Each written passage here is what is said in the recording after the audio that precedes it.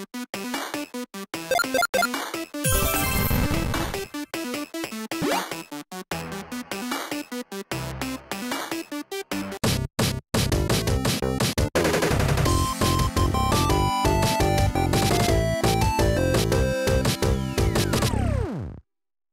everybody. My name is Jack O'Holleran. I'm the CEO uh, and co founder of SKALE Labs. We're the core team behind the SKALE Network. Pleasure to be here today again at Reimagine. Excited to get into some deep conversation about crypto. Hello, everybody, and welcome back to Reimagine 2021. This is our seventh conference and a monthly series of events bringing you nothing but the best projects, uh, bright minds, and leaders in the space.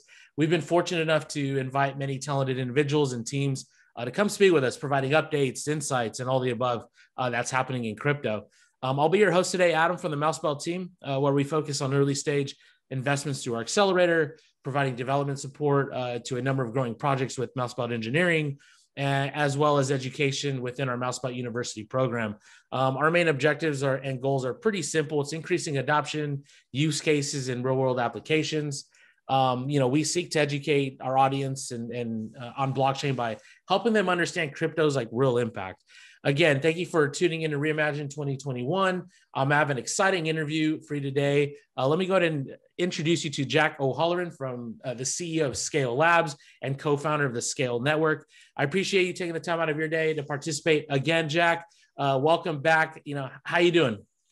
Doing good. Thanks, Adam. Pleasure to be here excited to talk crypto and actually talk about some real use cases. I think uh, I think that's the fun stuff, right? It's fun. Yeah, exactly. About, but let's talk about impact. That's why we're all doing this.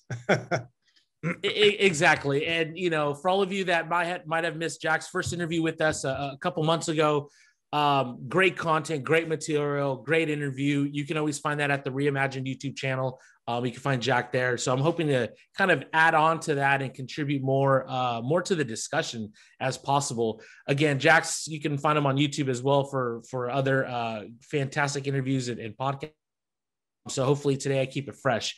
Um, so let's go ahead and get on with it. Um, you know, blockchain's kind of a buzzword, right? Uh, and little do people know, you know, maybe on the tech side or, or non-tech side, I guess, uh, that cryptography has been around for years. Um, distributed systems been around for years, encryption, right? All the above, and now it's just kind of snowball. Technologies advanced uh, from those early days on, on to now. But you know, before we get into SKALE and, and all those use cases, what were you doing with these systems that ultimately led you to SKALE? But but what was your involvement and what did you think of kind of technology during uh, you know, the early days leading up to what we call blockchain now, you know, post 2008?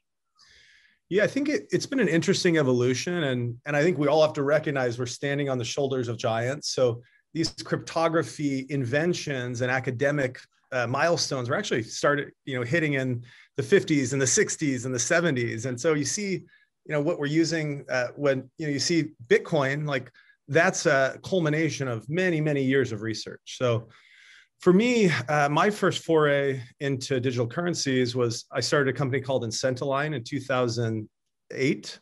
And it was a digital currency platform that entities like NASA could use to do better resource allocation. So we saw an opportunity to actually use these currencies that use cryptography and use game theory and uh, economic theory to try to drive in, uh, alignment of incentives and resource allocation. And you know, to make a long story short, we were very early and too early.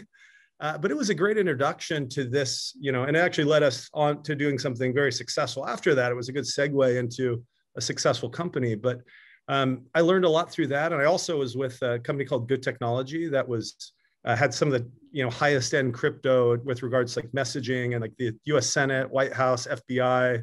Um, 90 of the Fortune 100 use this product, and in 2005 when I was working there. And my co-founder of Scale Labs, Stan Kladko, actually was running a cryptography lab in the early 2000s and did wow. our cryptography cert. So that was our first kind of interaction with each other. But this stuff's been around for a while. To your and, point. And and when you when we talk about digital assets or, or cryptocurrency in the sense pre 2008, what is what is the currency or like why was that needed at that time? Like what what value did it have?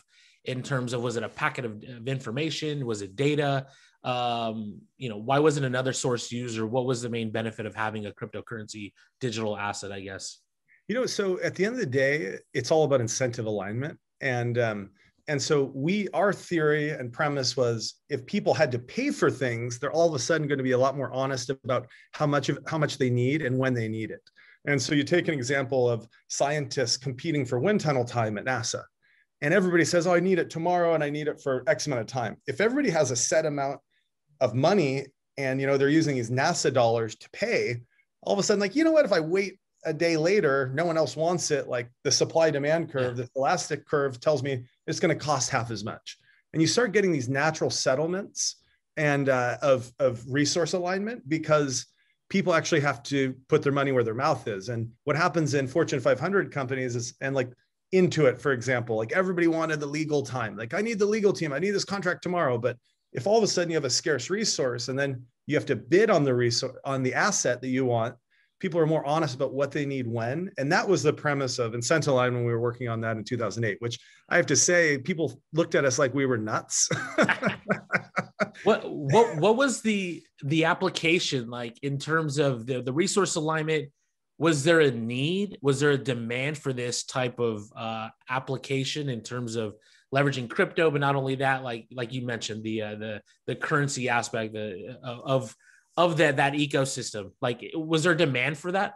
Yeah. So you know what? There was a ton of demand, and we kind of met the crosshairs of a of a market collapse in late 2008, and all of a sudden people quit investing in innovative things and yeah. went back to just absolute requirements. And that's why the company ended up shifting off of that vision. But if you think about it, what we were trying to do was provide enterprises a better way to help divide resources up and allocate resources and, and streamline processes. And you can put a bunch of planning and central planning into place or you can like align a currency and you know look at the behavioral economics of a situation. And we felt like that was something that maybe took more work up front but could add huge value later. Now uh, we also missed the mark in terms of digital currencies and that i think we've learned that they're more valuable when they're applied in open source decentralized community owned environments with scarcity elements and extrinsic value.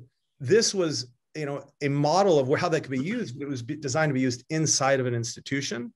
And so uh, you know but i have to say i think it was a phenomenal idea. I'm excited for somebody to go out and do that and build that yeah. because um, there's i think uh, you know i think you know i think it's a great business. And so no one has achieved it yet for inside of entities. I think we're seeing it yeah. come to light outside of entities but um, there's there's growth in, in both areas and I, I, kind of just thought about it and you touched on it. it might, might kind of derail me a little bit, but let, let's kind of take it into, and I'll come back full circle. I think for those watching, understanding kind of how all the alignments you just said, the incentives, the gamification, the economics or tokenomics kind of in the blockchain crypto space um, of, of how things work, operate, the purpose, play into like where we're at today. We're in 2021. This was back in 2000. What was it? Eight, you said, or, you know, yeah, 2008. Yeah. Yeah. Late, yeah. 2008, which is kind of cool. And the topic of this discussion for me is kind of highlighting the purpose of blockchain outside of Bitcoin. You know, everybody hears Bitcoin and, and kind of, they think it's just this currency and a substitute substituted dollar and like, but it's beyond that, right? We're talking about the tech underneath it that is now being applied that's been applied, I guess, you know, for the last, you know, decades. And now it's kind of culmination to, to where we're at today. Now, were you familiar with digital assets like in 2004 with like Brock Pierce and kind of what they were doing as well, like uh, uh within games and mining gold? Are you familiar with that landscape? You know, I I was just from a gaming perspective. So I was yeah. like into gaming and, and and actually really into gaming just from an intellectual capacity. Yeah. So as an entrepreneur, I wanted to understand gaming and actually at one point almost started a, a gamification, uh, B2B gamification engine to like, you know, drive sales teams and motivate yeah. people uh, with leaderboards and taking these, these elements of, of gaming and bringing them into enterprise software. That, that piece in, interested me. And, you know, I was a pretty casual gamer. Yeah. Um, got more into it when the iPhone launched and there's like For sure. know, Supercell and you know the that whole suite of games but um, you know for me it was more uh, you know I, I i think the first introduction of bitcoin i had was 2011 yeah, so i was very late to this whole nick szabo era uh, cypherpunk yeah. scene but yep. um, it, and i was living i lived in palo alto in 2007 2006 and some friends from like that group of people were like really on tech trends and I got the white paper sent to me in 2011 for Bitcoin. And, you know, I still didn't recognize the power that it had. But I think circling back to your original point, like when I think of Bitcoin and I think of blockchain and I think of cryptocurrencies, I think people need to think about it in the lens of user owned blank. Yep. Yep. Bitcoin, user owned money or store of value, right? It's yep. user owned gold, okay? Digital gold, right? Um, you think about all of these assets and you think about user owned exchange, right? Decentralized exchanges, um, user owned financial applications in the DeFi category, right? We're removing these constructs of power and authority where we have middlemen, we're letting people and workers and open source software be the facilitators of these new uh, business business models, yeah. essentially. No, no, totally. And, and I bring that up because, you know, we, we just talked about cryptocurrency in 2008, kind of the way you're using it internally. Um, you know, there's some of these other stories, right? Uh, in actual gaming.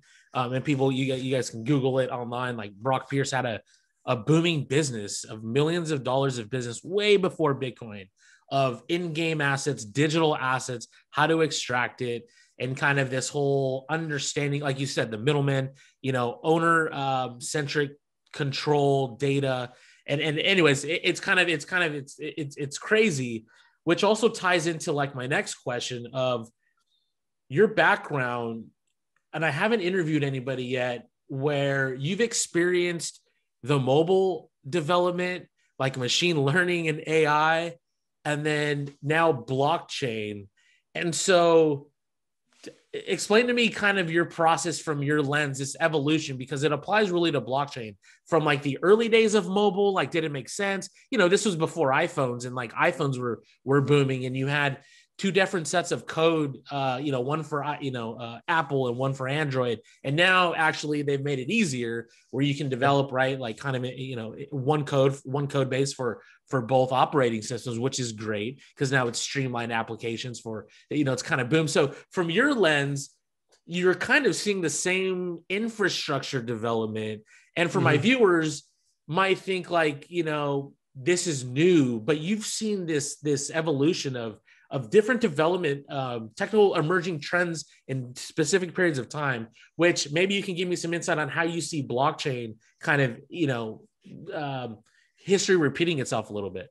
Yeah. So I, um, I would say I, I like to think I was on top of both those trends early, but I have to say that the mobile trend, I just got very fortunate. And my first job out of college, I managed to like get the right introduction and get you know, yeah. land a job at a really hot mobile company. So that was like less of me being a visionary, even though I, hey, I, I was, I saw it, I saw the value. For sure. But, uh, and I'll, I'll tell you a story. So at Good Technology, we had 90 of the Fortune 100 and similar numbers for the, of the Fortune 1000. Every major government institution. What it was, it was, it was a way to you know do corporate and mobile email and device management of uh, for enterprises. So um, now everybody just you know brings their own iphone to work and you can plug into the systems of the enterprise. But back then you actually had to have it managing and giving you an application for which email you could use. And it was people were using Palm Treos blackberries like the iphone didn't exist. There was no kia devices. There were windows mobile devices. It was all pre-android okay and pre-ios. So um, what we did is we had this enterprise platform. What we realized was we had such a stranglehold on the enterprise mobile uh, uh, just market share that we could be a source for applications to integrate. So we launched an application program. You could have, you know, you know these mobile uh, mobile applications on the good platform, and we thought people were going to be running from each direction to deploy. But guess what? The device speeds we were on 2G in terms of Wi-Fi. Battery life was like four or five hours, six hours max um, you know, the memory, the, the storage capabilities in these phones, the compute power. I mean, we're, it, you know, a cal- it was like a similar to a calculator in terms of power compared to like an iPhone is stronger than the, you know, most powerful laptop of that time. Right. Yeah. And so we just, frankly, we're in an infrastructure sticking point and I think we only had three different applications ever come build on that application suite, even though there were you know thousands and hundreds of thousands of users at the world's most expensive companies but the ex- user experience was so poor. And so i like to tell that story because fast forward 3 years later the iphone launches. We we got to 3g we uh, the battery life the storage capabilities the memory in these devices just just yeah. all these things came together at the same time. And what we fixed was the user experience. So people were betting on the tech but the ux was broken and then you know what a year later supercell launches uh, a game and there's a million people playing each other per second in real time across you know 100 different countries all over the world like real time playing people um, not sending a message and like waiting five minutes for it to get yeah. to the other side of the world. Okay. And, and so then it was a transformational experience. The number of mobile users skyrocketed, the number of applications, and mobile quit being a thing. It all it became a component like the internet, right? There used to be this category we think of just mobile. Now mobile is a piece of every business strategy and technology.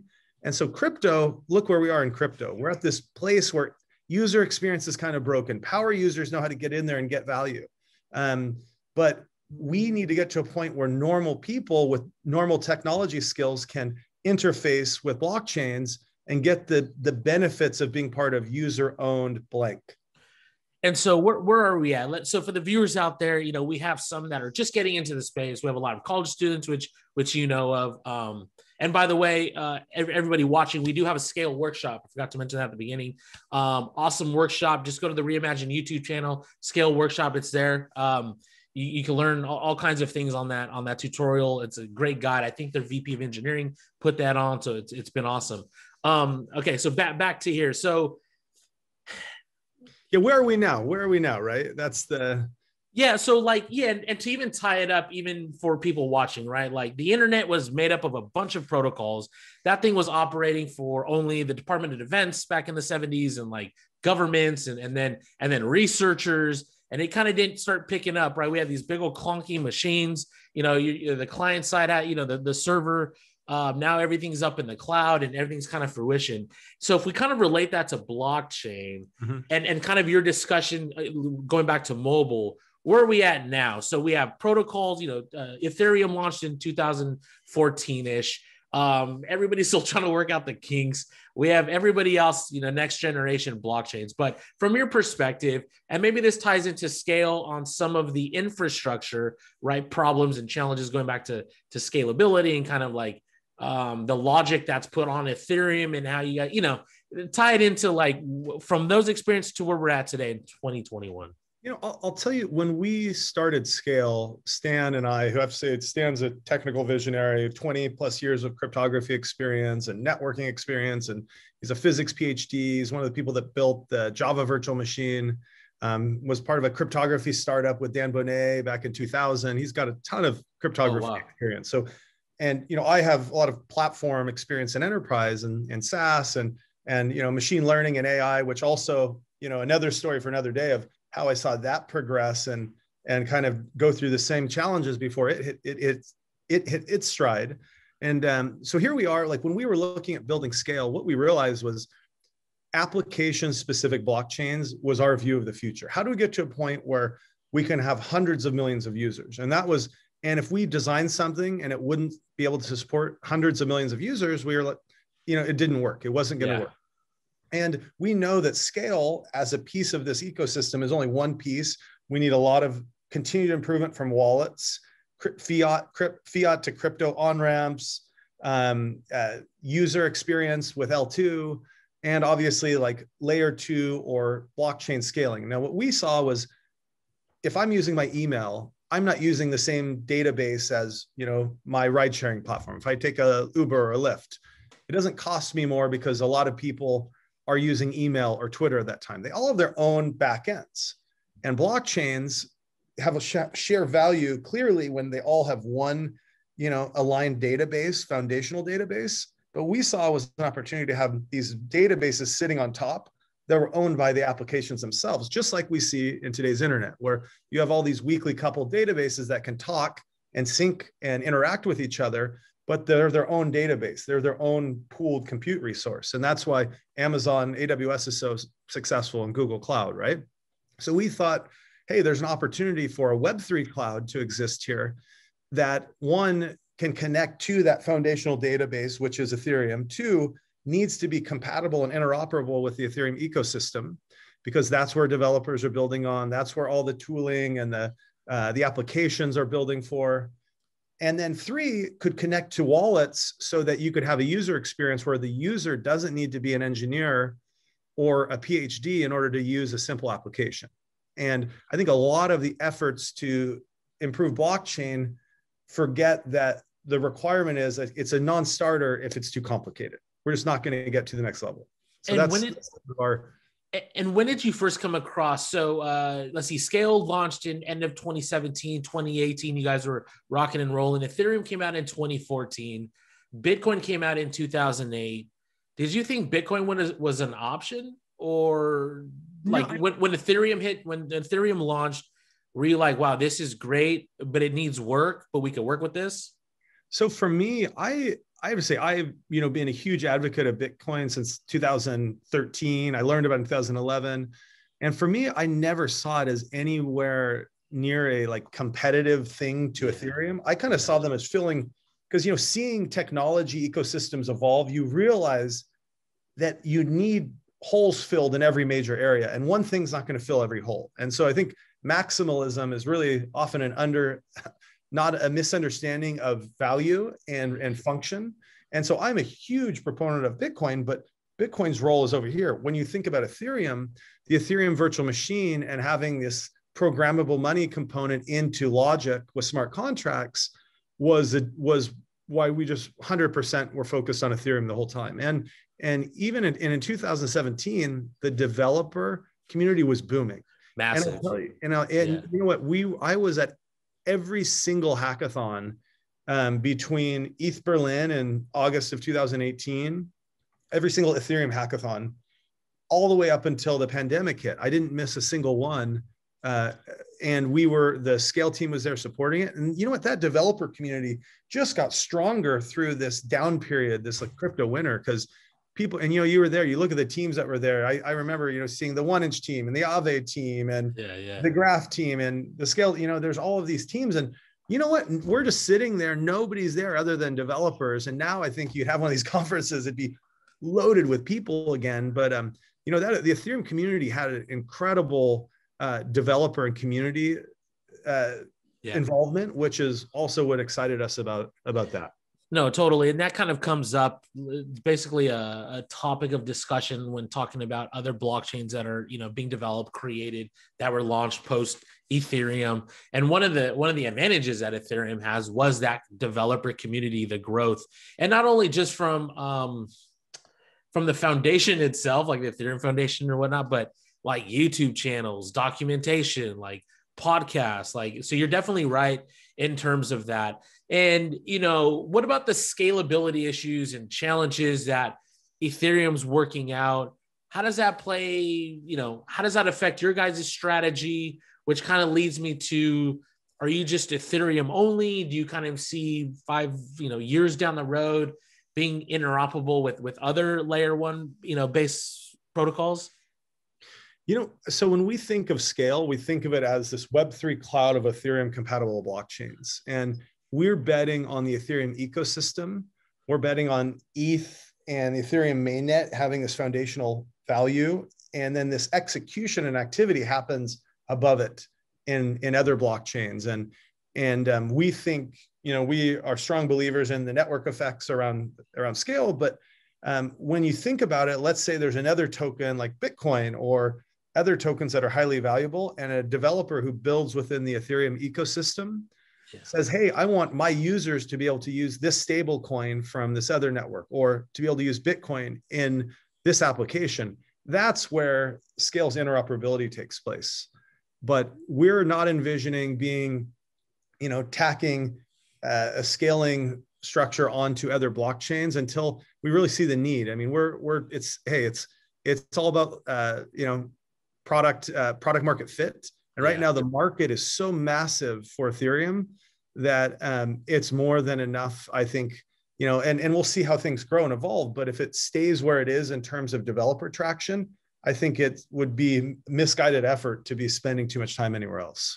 And, and let's kind of catch up our viewers here. Obviously, you, have done uh, an interview with us, so I don't want to rehash kind of SKALE overall, but let's let's tie this into kind of what what you guys have done to help that that second layer because you're not really a layer two. I've heard you say that. Not consider you know you don't think yourself as a layer two. You think mm-hmm. yourselves of a, a, different kind of hybrid you know side chain um, to the ecosystem. But let, let's kind of fill the viewers in on how SKALE, what the product market fit is that you guys see that you guys attacked.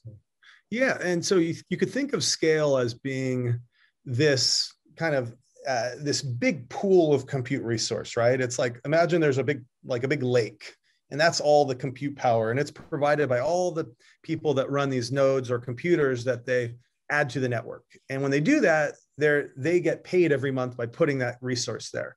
And then the ethereum mainnet these contracts on the ethereum mainnet you can think of them as a brain.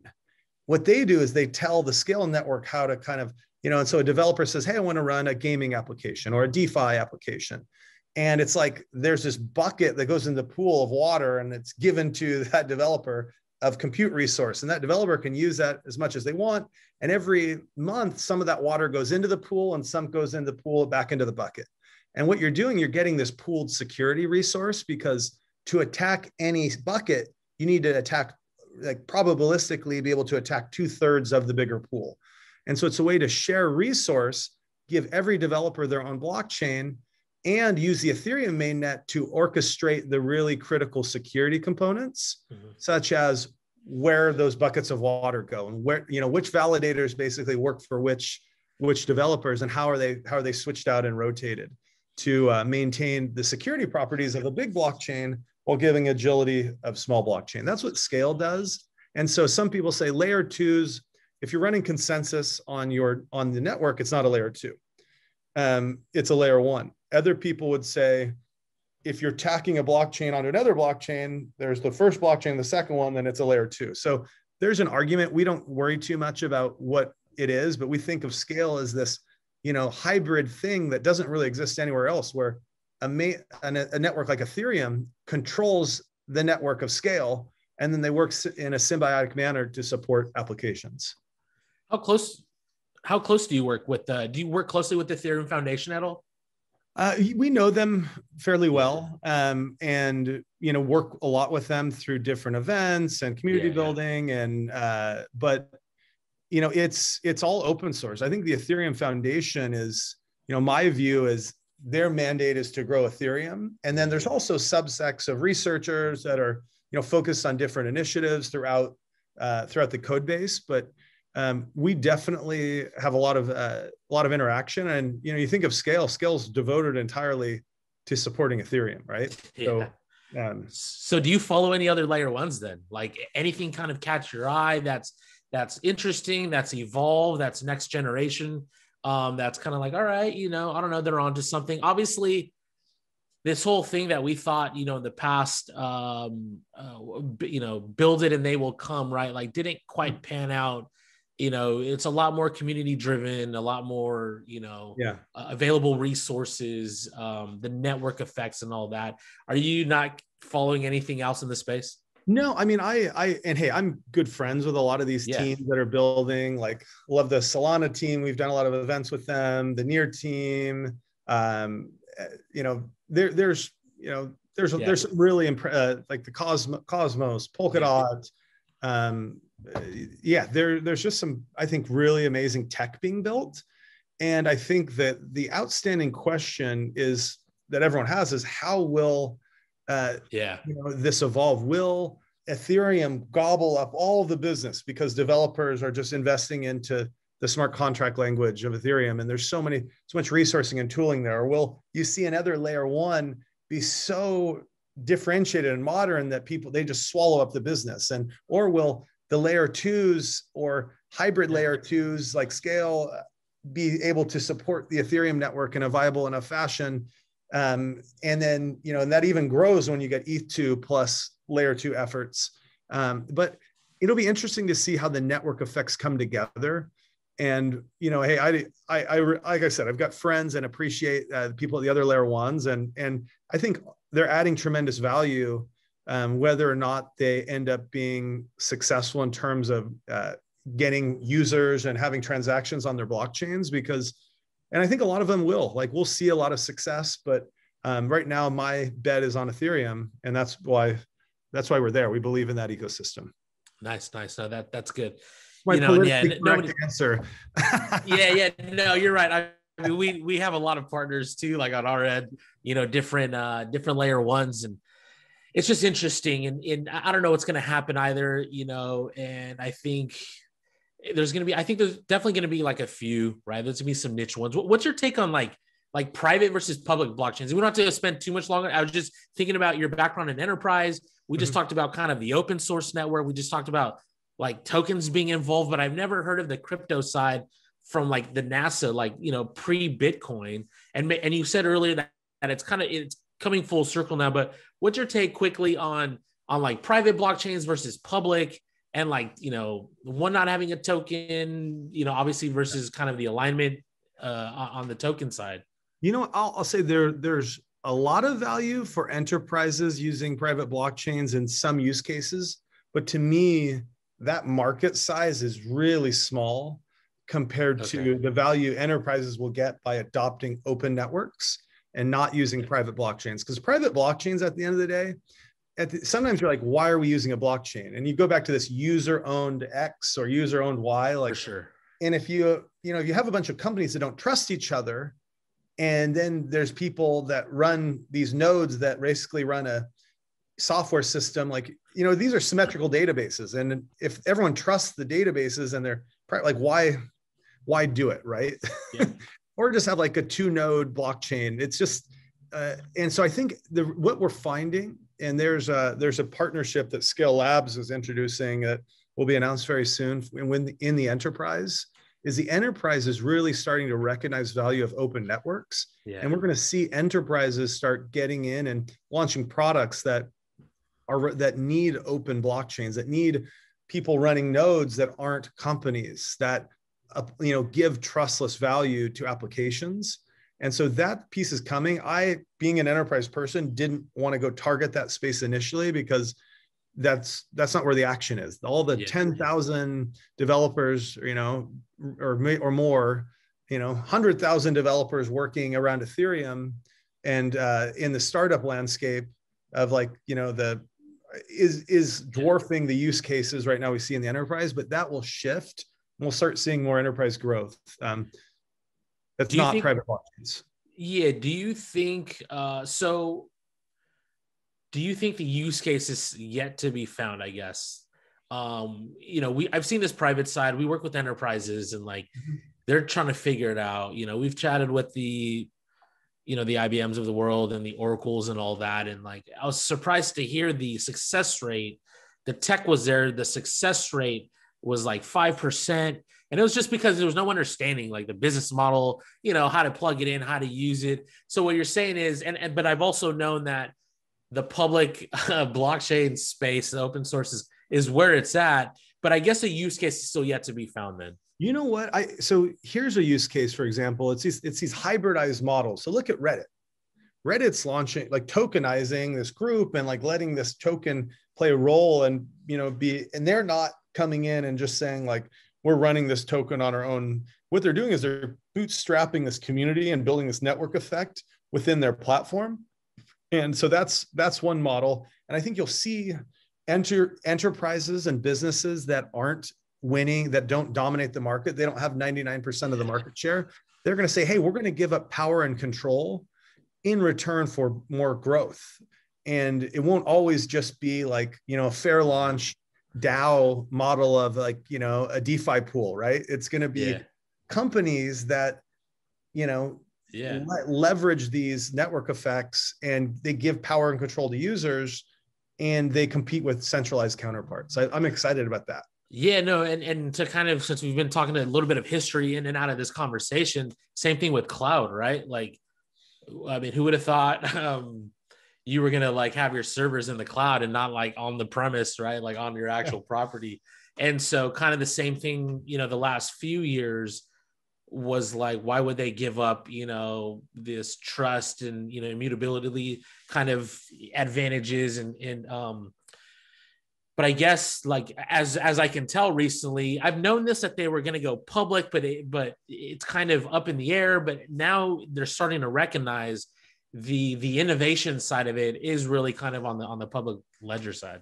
Yeah, when I when I first, uh, one of my companies that I'd started before was called Aktana. It's a machine learning, like artificial intelligence company. It's all software as a service in the cloud. And we we're out selling to the world's largest biotechs and pharmaceutical companies. And, and at first, they I bet four out of five CIOs would say, oh no, we're not going to run this unless I can get the servers in pre- on premise. And we, would say, sorry, we can't do that. This yeah. is SaaS go here. There's a million piece, pieces of documentation you can read from salesforce.com and why it's better to use a configured, not customized product in the cloud.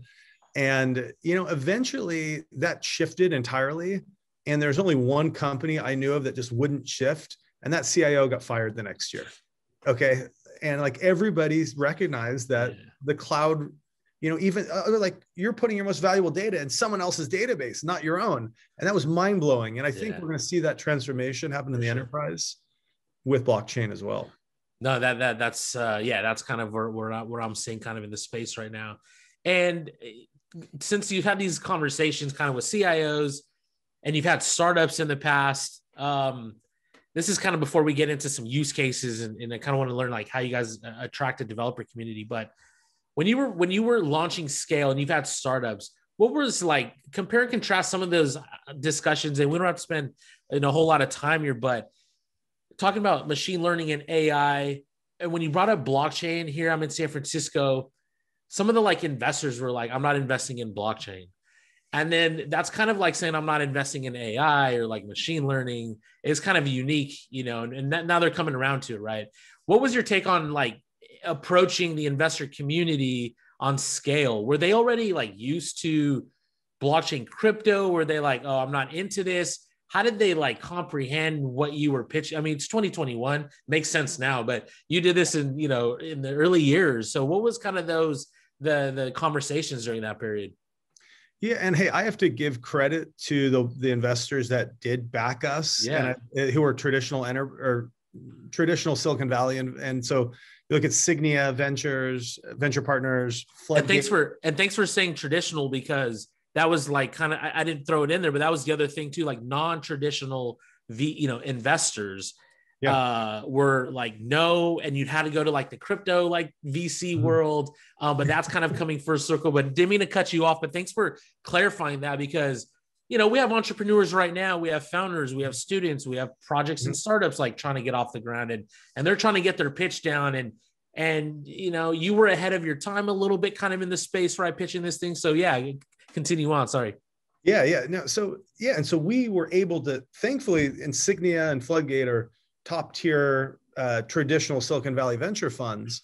And I think they believed in us and in the vision but then for the next round, I have to tell you, we um, I we got some hard nose from traditional funds, just being like, I don't get it. Like you yeah. don't make a profit. You mean your company won't can't control and change the software without community involvement and the community owns the code and you're going to open source everything and the money i give you you're going to give it to a foundation in a different country because so that the community can own it and we're like yeah that's basically what we're doing. And they thought complete we opposite, right? complete opposite of what they're used to. Yeah, yeah, and and then you know then Multicoin, I have to you know give them yeah. credit. They stepped up and led our first kind of crypto native round. And uh, I have Kyle tomorrow, by the way. Oh, great, great, yeah. yeah. Well, he, you know, they, I think they believed in us, and then a lot of other phenomenal uh, funds came in around that, and you know that was easier being able to go and pitch to crypto funds because they get it if they if you all those things i just called out earlier if yeah. you weren't doing those things guess what you weren't getting their money For because sure. they know the power of de- that they know the requirement of decentralization from a functionality perspective community perspective growth perspective and as i think a lot of people are finding a compliance perspective yeah. and if you are you know building software you own that's not open source it's not community con- contributed it's not community run you're not you know that's not a decentralized blockchain. That's a security you know it's yes. like so um, yeah but it's interesting to see this involvement. So my advice to people out fundraising are you know and this is something floodgate told me once uh, uh, arjun who is uh, who's a really really wise person. He said our philosophy is sell bibles to the christians meaning if you want to have high sales don't try to like you know change people's religion. Yeah, yeah. evangelize the people who are ready to buy. For sure. And um and you know and that's true for your customers and your investors. Yeah. that understand it. Yeah. Uh, do you think they're do you think they're coming around now? Like do you have people coming back from the traditional side like hey by the way yeah, you guys are doing really they, yeah they know that it's not going away. And i yeah, think people yeah. recognize and you know you look at a category like nft yeah. but even i think i underestimated the impact and how much power these things would have and how much value people would put in these. And you i mean look at that industry that's just booming right now right? And so um and i always believed in it but i i was surprised by the growth that it's had. And i think you know i that gives me a little empathy for investors who looked at this and kind of like oh whatever but you know it's not going away. It's yeah. getting bigger and bigger. And the younger generation that controls technology shifts and growth in markets is really getting behind it and they're knowledgeable about crypto they're knowledgeable about decentralization and blockchains and nfts and i think that market is like getting older and then in a you know more powerful economic position and we're going to start seeing like internet type growth in this category over the next five to 10 years. So let's bring this full circle here. I want to get into some use cases, some applications. Mm-hmm. Um, you know, I was, I was, reading up and, and, you know, your team put out uh, some material. And I think for our viewers, we've just talked about, I've tried to keep this more kind of real world, right? Like how, how do our users, our, our, viewers, like see what we're building, what we're doing? It's it's not that foreign. It's very history driven in terms of like communities, like participation, engagement. You know, um, and it's all being applied into tech. Uh, so it's kind of cool. So we'll kind of I have a few use cases, and, and, maybe you can just give me your thoughts on how SKALE. Yeah. Uh, you know, is being used, being leveraged, however you want to take it. But well, well, first use case right now is we're talking about DeFi. That's kind of been the boom, and you know all of these projects, you know, you know, have come out. How has SKALE played its part in the DeFi space? I mean, DeFi is going to be a huge, huge category for SKALE. Uh, you think about uh, the low hanging fruit right now is decentralized finance and gaming for everywhere. You know, every part of of crypto and Web three growth, and it's going to go into these other areas too: user owned economy. Um, you know web 3 pure web 3 with like social media platforms um, uh, different marketplace environments but right now defi is, is massive and we're actually SKALE there's a new features being launched new security features new um, user experience features through different wallet providers and the goal is to make it as easy as possible and secure as possible to go and interact and and leverage DeFi. And if I have to, the other day I was, you know, I was on Uniswap and I spent, I didn't actually go through the transaction because it was too expensive. I, I, was trying to swap, I was just trying to get, I think, five hundred dollars of ETH, and I was swapping USD into ETH because I needed it for a the ETH for a business function, and it was for five hundred dollars. It was a hundred dollar gas fee. so I was like, why? Am I, you know, I can't do that. You know what I mean? And yeah. so people need to uh, you know we need and hey uniswap and ethereum and you know all the efforts happening these problems will be fixed and that's For that's sure. a problem that SKALE is really focusing on fixing and um, and i'm sure uh, we'll see big projects come on to SKALE and we'll also see new projects be launched like you've seen uh, across the defi ecosystem as new scaling platforms launch it's almost like there's this like microcosm of an economy on every single fast and Ethereum compatible blockchain. You've seen like, you know, it's like in a typical like physical environment, there's a car dealership and a coffee shop and you know a yeah. gas station and a shop and a grocery store and like you can kind of take those those like common categories of blockchain and you saw it on Binance Smart Chain and see these things popping up on Matic and and SKALE is going to start popping up. You know, there'll be the similar characters and then you're going to see uh, see these businesses flourish and then kind of battle for users across their environments yeah. and ones that are just natively on the mainnet will then connect into winning platforms or multiple layer two platforms and just get more extensive reach too that's another another way i think we're going to see growth great grant some other use cases is like data custody and privacy you know content streaming um, you know, trustless sports betting and like prediction markets. Mm-hmm. Um, are you following any of these kind of dApps being kind of built within your network? Yeah, definitely. Yeah. And we're, I mean, we're excited about, you know, the best part about my job is I get to just talk to developers all day. Yeah. and it's fun. You're out talking to people that are building in these new categories, like you mentioned, and you're just like you recognize that it's you know it's like this homebrew crew of Apple, and you just see like the smart minds that are dabbling in this space and that are building things and they're believing and they're seeing you know they're seeing the path before everyone else does, and and it's inspiring. It's uh, so I'm I'm really pumped, excited for all of these projects to be launching on SKALE and and just for us to try to be able to support these developers there's just so many awesome creative people building really cool security software that has yeah. great implications. Last couple questions. We got a few minutes before we jump off. Um, you talked about like working with developers. What has SKALE done to kind of increase that growth? What has SKALE done to provide the resources um, the tooling, the infrastructure to make it easier for developers to uh, to log on. You know, we have like a lot of developers, you know, watching Reimagine overall. You know, the the SKALE workshop is online for you that have, might have missed it. Um, it, That's great, some great info there. What have you guys done to kind of bring in, you know, the developer talent? Yeah, so we, you know, one thing we've done is, you know, so you think about SKALE Labs, we're a core team. We want to support the growth of the SKALE network. And what we did, what we don't have, we actually don't have any salespeople. We only have a, a solutions engineering team, and it's really like like a high-powered developer relations arm, where the goal of this team is to just go out and help people build on SKALE make sure that you know they're working with product to make sure ensure documentation is good that new features are coming down the pipeline and getting the right place on the roadmap um, helping uh, build you know tools to easily deploy SKALE to manage it, um, helping people understand the how the code works, how to test against uh, the code. And uh, Christine Perry, who did the workshop, uh, she's she's VP yeah. of Solutions Engineering at SKALE. She she and her team do a phenomenal job. And what we did is we said, hey, this is a new industry. Um, let's let's go study business to developer marketing in open source enterprise.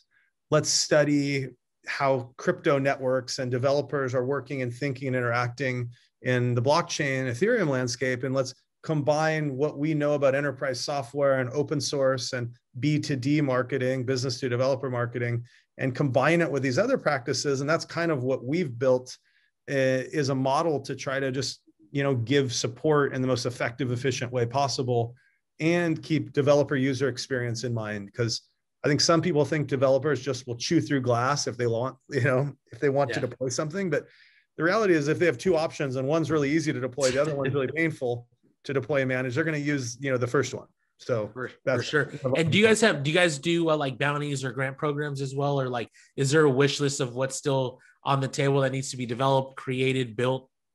Oh yeah. We have so many things uh, that, that, you know, that community contributions that have been built and need and that will be built and improved and um, you know recently uh, yeah there was a integration to chainlink that was built um, we uh, we did a integration with arweave that was community built. And you know we'll keep launching these and we've got it we've got a wish list a bounty wish list. And um, and we're going to start getting more and more of these out to get more and more SKALE tokens in the hands of more contributors. Yeah. And um and it's it's been great thus far but i'm excited to just see even more. Like we you know there's a uh, an initiative for a block explorer. There's an initiative for more uh, uh, more wallet integrations that uh, there's and so thankfully the foundation's able to kind of take in these uh, proposals for for grants and there's a lot of companies and people out there that are out building this stuff uh, chainflow is is building a nice uh, API for the network. Figment um, is building another uh, tool for the network. And we're just seeing a lot of community contribution and we welcome more of it. So we, as much as we can get, please, please come and help. And uh, there's, there's uh, budget in terms of SKALE tokens that are just, just defined for developers in the community that want to build things that are valuable for the network. Great, great. I like that. And for all of you tuning in, right? yeah, gather your team, follow SKALE. Um, you know, that's kind of the, everybody's goal in this space is to build cool shit.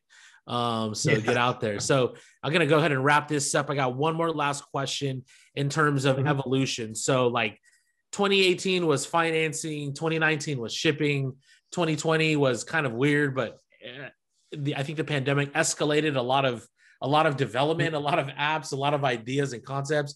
What does 2021 have in store for for the industry and then also for SKALE? Yeah, I I think this is the year. And by the way, I, this is the year where we're going to see the growth happen that I thought was going to happen in 2020. Okay. I remember I was at DevCon, DevCon on stage giving my predictions for. I was running a panel, and I think this is the year that we're going to see that user user centric growth. And I think we're seeing it. We saw DeFi boom. We saw yeah. NFTs are rocking and rolling. Gaming's really like picking up steam. Uh, but we, I think there's some really cool wallet features and like integrations into layer two scaling and uh, scalability platforms that will that are coming together where we're going to start seeing the user experiences just you know take a phenomenal uh, uh, you know hit that growth curve that knee of the curve kind of what i talked about with mobile. Yeah. And i think you know user owned economy and web 3 and uh, middleman disruption pro- companies and projects I think are going to be, you know, in the end of 2021, what we saw the middle of 2020 in terms of DeFi. So you'll start seeing these things like Braintrust, for example, and and these different platforms that are user owned that disrupt these middleman environments really come into into play. And you know, they're they've been building you know that whole industry has been building for a long time too minds the decentralized social network is a great example audius on the music side yeah. these things are just going to like just skyrocket this year. That's my my feeling. Perfect, perfect. No, no, I, I believe that too. I think kind of that Web 2, 2.0 for people that don't know, kind of Google it. Web 2.0, 3.0 is um, centralization and decentralization and kind of owner centric in, in in every aspect, and that's kind of the direction we're going. Um, so we've kind of chatted for a while here, Jack. Um, I appreciate you like coming back on the show, and like you know, we hope to have you again um, where can where should people find out more info about SKALE uh, SKALE labs and or SKALE network? Yeah i just recommend going to the SKALE network website SKALE s-k-a-l-e dot network.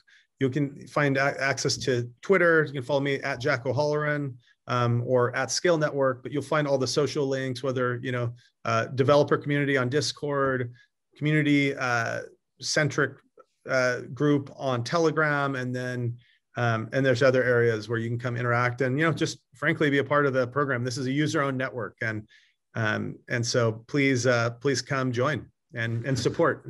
Perfect, perfect, and you know that's kind of what Reimagine is all about. The pandemic hit. You know we're going on our seventh event. Um, obviously, there's a demand for educational content, uh, video content, you know, one-on-one interviews, which you know we've tried to s- scale up. Uh, you know, and uh, and have a good time. And, and again, appreciate you joining. Um, you guys have supported us with workshops, with speakers, um, and so we look to have you back. And for everybody watching, you know, hopefully you enjoyed it, and uh, we'll see you all again. Thank you.